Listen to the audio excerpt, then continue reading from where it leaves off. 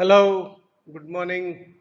This is again, once again, Dr. S.M. Jain in front of you with the topic of meningitis. You must have heard about the name meningitis. It is the inflammation of the meninges, the coverings of the brain. To the children, to the old age, to the adults, all ages are influenced in less or more uh, incidence, but then it is relatively a serious infection, may sometime have a serious consequences. So let us see few things about the meningitis. By the end of this session, you should be able to, number one, describe etiopathogenesis of meningitis. Means what are the agent which cause the meningitis and how it happens enumerate common pathogens involved. so the, the list of the organisms I will be giving, the common ones which cause this, this uh, disease, meningitis, you should be able to enumerate, remember. Then the laboratory diagnosis, you should be able to analyze, understand the laboratory investigation diagnosis procedure and choose the tests appropriately and of course a, a brief outline of the treatment of the meningitis. Recall your understanding knowledge of the anatomy classes and it will be easy for you to understand. The CNS infections which include meningitis are significant cause of morbidity and mortality. We know that the CNS is made up of the brain and the spinal cord and this these structures are covered by three layers of the of the membranes of the meninges. The outermost dura mater then the arachnoid mater middle one and the innermost the pia mater and the later ones the the arachnoid and pia mater they are collectively known as leptomeninges. And then between them there are spaces which are called epidural space, subdural space and subarachnoid spaces. We have discussed in the earlier slides about the leptomeninges and the dura mater. This is the dura mater, the tougher one. Durable you can remember. So this dura mater, then this is the arachnoid mater and this is the pia mater and in the subarachnoid space there is a fluid as well as the vessels. This is uh, epidural space, this is subdural space and this is the brain tissue. So this is a brief uh, reminder of the structure of the brain. Meningitis, uh, as the name suggests, is inflammation of the meninges surrounding the brain and spinal cord. In the true sense, it implies to infection of subarachnoid space or the leptomeninges, arachnoid and pia mater, not the dura mater. It is customary to classify the meningitis according to the etiology. So it is also known as etiological classification. The, the most common one is pyogenic meningitis. What are the signs? Pyogenic meningitis, there is elevated polymorphonuclear cells in the CSF. Polymorphonuclear means neutrophils mostly. The multi-lobed nuclear cells will be seen in the CSF. And then uh, it is mostly caused by the uh, bacterial agents, bacteria, not any other, not the virus, not the fungus, not the other ones. Then the second is aseptic meningitis, where there is elevation of the lymphocyte number in the CSF. The term aseptic is not suitable, but then it is being used for many times, so it is still used. Uh, aseptic uh, classically should mean the, the, that there is a infection is not there, lack of infection. But then there is infection and the agents are there which are, which are diagnosed, identified by various newer methods like PCR. You can see the causes of the pyogenic meningitis here. The groups of age groups have been divided like this 0 to 2 years, 2 to 20 years, more than 20 years and more than 60 years. So there is a prevalence of the organism according to the different age groups. You can see here in the neonates, the Escherichia coli group B streptococcus, other gram-negative bacilli like Klebsiella and Listeria monocytogenes are prevalent. While in 2 to 20 years of age group, Neisseria meningitis, Haemophilus influenzae and Streptococcus pneumoniae are common more than 20 years in the adults. Streptococcus pneumoniae is also there, which is there in the 2 to 20 years age group also, and it is one of the most common agent in the adults. Haemophilus influenzae is also there, it is in 2 to 20 also, is here also. Neisseria meningitis is also there. So you can see the, the agents are almost similar, only thing is the sequence of occurrence has, has changed. Here the Neisseria meningitis is the first cause, while here the Neisseria meningitis is third cause. And in elderly, the, the uh, Listeria monocytogenes is also common. So this is the causes of the pyogenic meningitis. Then causes of aseptic meningitis. The virus, bacteria, parasite, fungi, all of which can do this aseptic mm, meningitis. The viruses are enteroviruses, that is polioviruses, echoviruses, Coxsackie viruses. The most common agent herpes simplex virus 1 and 2, other herpes group viruses that is varicella zoster virus, cytomegalovirus, Epstein-Barr virus, myxoviruses, influenza A and B, parainfluenza virus and mumps virus, arboviruses, adenoviruses, rubella viruses and HIV. These all viruses can cause aseptic meningitis. Then bacteria, Mycobacterium tuberculosis, Treponema pallidum and Leptospira. These are three common organisms which can cause bacterial aseptic meningitis. Then parasites, the free living amoebae that is Naegleria and Acanthamoeba and Toxoplasma gondii, they all the three commonly can cause aseptic meningitis. And Cryptococcus neoformans also is there which can cause aseptic meningitis where the lymphocytes increase in the CSF. Then pathogenesis. The route of infection can be hematogenous or direct hematogenous is most common route and the the the direct spread from the site can also be there. These sites, for example, the middle ear, the mastoid, uh, mastoid canal, the sinus, sinuses, they are close to the brain, so they can directly spread from there or there can be anatomical defect in the central nervous system because of surgery, trauma or congenital defect. There can be direct intraneural spread also along the nerve. This happens uh, with the rabies virus and herpes simplex virus infection. Then predisposing factors of the meningitis, age. Neonates have the highest prevalence of the meningitis. This is because they have got immature immune system. They acquire colonized organism from mother's birth canal and the permeability of the blood-brain barrier is higher in the neonates. So they get, they are most vulnerable. Vaccination, some of the vaccine can cause that and that some factors that promote infection at the primary sites.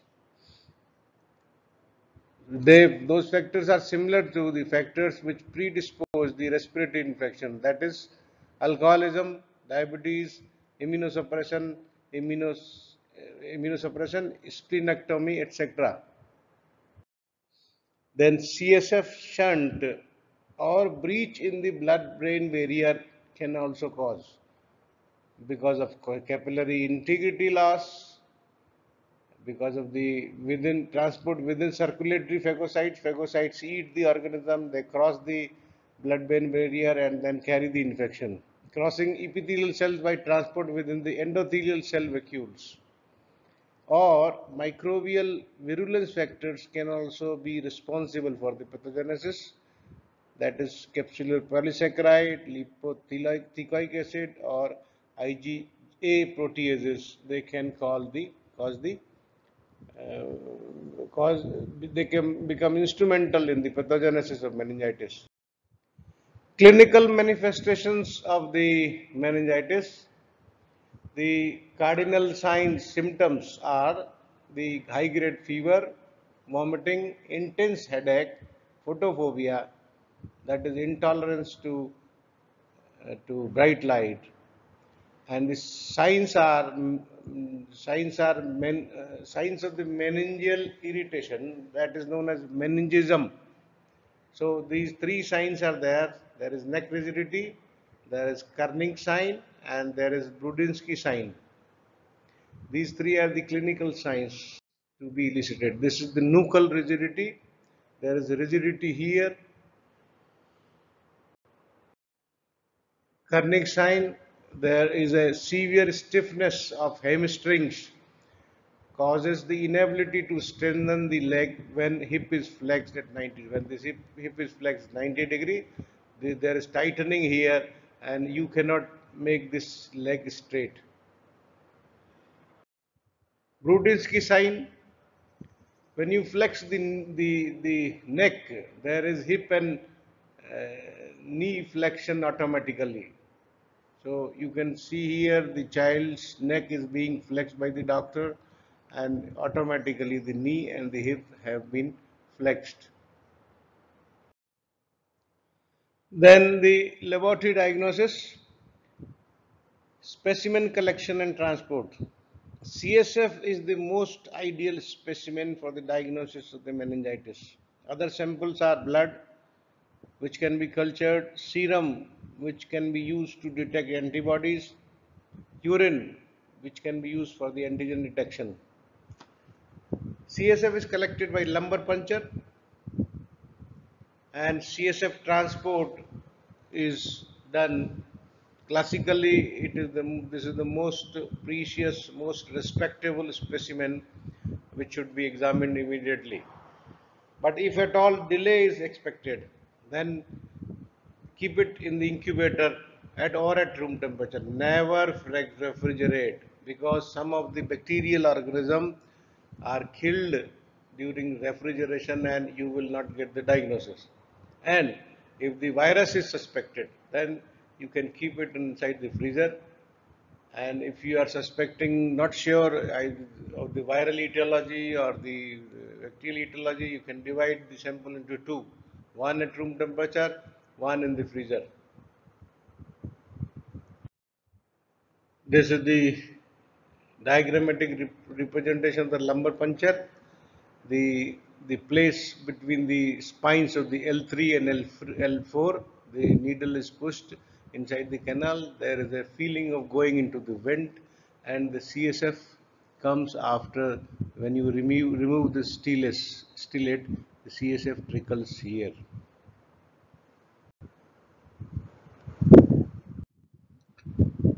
This one is a key chart about the basic uh, parameters of the cells and the chemicals, biochemicals.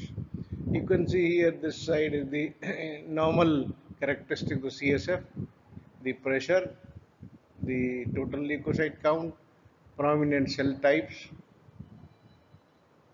number is less and whatever lymphocytes are there leukocytes are there they are lymphocytes primarily when there is different type of meningitis neutrophils increase tremendously here in the aseptic meningitis tuberculous meningitis the lymphocytes increase and viral also both are aseptic um, meningitis. So these parameters, this table is very helpful in the diagnosis. So these parameters are seen to decide protein is important, glucose is important, cells are there, important number of cells are important. Then uh, the gram staining of the CSF decides the nature of the infecting organism. Uh, you can see the Streptococcus pneumoniae, if it is diplococci, it's intracellular diplococci, it is uh, Neisseria meningitis, if it is coccobacilli gram negative coccobacilli, it is H. influenzae and like that depending upon the morphology. So biochemical analysis and cell count give the preliminary clue and these clues are that acute pyogenic meningitis is there when there is highly elevated CSF pressure, high neutrophil count, glucose is decreased or absent and total proteins are also more. Tuberculous meningitis, viral meningitis, we have seen in the chart these uh, various organisms depending upon their morphology they are detected and tested. This uh, you can see the pneumococcal meningitis, how the pneumococci appear. You can see the diplococci here with a with a narrow rim of the halo around the diplococci. You can see the rim of the capsule here. This is the gram-negative intercellular diplococci, meningococci you can see the diplococci, gram-negative diplococci here. Then the cryptococcus, the, the large halo around the cryptococcal uh, organism which has got showing the buds and it is the negative staining and I have picked up few organisms there are a range there is a whole range of organisms which whose morphology decides what is the etiology. these are the details of the microscopy, Streptococcus pneumoniae, what happens in their morphology and how they look in the culture. You have read in the culture alpha hemolytic draftsman shaped colonies and blood agar which are sensitive to optochin and which are bile soluble. Streptococcus agalactiae, you can do go for CAMP test uh, to, to differentiate it from the group 1.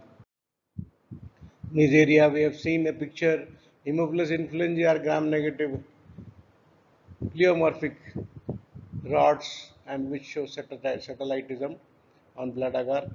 E. coli is a gram-negative bacilli. Cryptococcus is a very nicely seen in the in the India ink preparation. Budding yeast cell with refractile capsule are seen, and with the latex agglutination, this this capsular antigen CSF can be tested. And the viral uh, meningitis is suspected, then the PCR can be done to detect the viral DNA or RNA in the, in the CSF. But those are the very complicated and sophisticated tests not readily available everywhere. Uh, very, very high level laboratories must be doing that. Tubercular meningitis, cobweb formation is a, is a is a character along with the uh, along with the acid fast bacilli in ZN staining and if you grow it in the culture it can be seen these days these days PCR based technology which is known as CBNAT cartridge based nucleic acid amplification technique is used which gives very fast result in the diagnosis otherwise the, the growth of the mycobacteria takes a lot of time and we have got this technique in our college.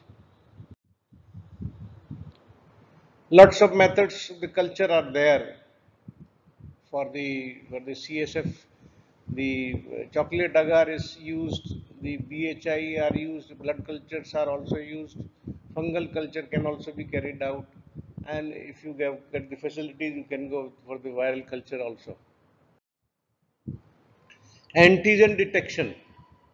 Supernatant after centrifugation is used for antigen detection. Latex agglutination test can be used for Cryptococcus neoformans, Streptococcus pneumoniae, Streptococcus agalactiae, Neisseria meningitis, Haemophilus influenzae.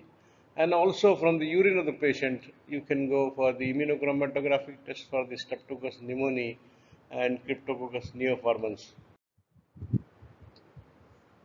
Serological test for the antibody detection can also be done, especially useful in the viral etiology and especially for the herpes simplex virus. Bacteriological endotoxin can also be detected from the CSF. Limulus lysate assay is there. This PCR Mycobacterium tuberculosis specific IS6110 gene I have already talked about in the CBNAT. Treatment. If pyogenic meningitis is suspected, empirical therapy begins with the adult IV cefotaxime or ceftriaxone and vancomycin. If listeria is suspected, then IV ampicillin is added. For neonates, IV ampicillin plus gentamicin is the is the popular combination, and dexamethasone is also added, added to reduce intracranial uh, pressure in the neonates. Definite therapy can be started after culture reports are available. And for tubercular meningitis, the treatment is given according to RNTCP guideline. RNTCP means Revised National Tuberculosis Control Program, which gives a specific group of drugs suggestion for a specific type of the meningitis, a specific type of the tuberculosis rather.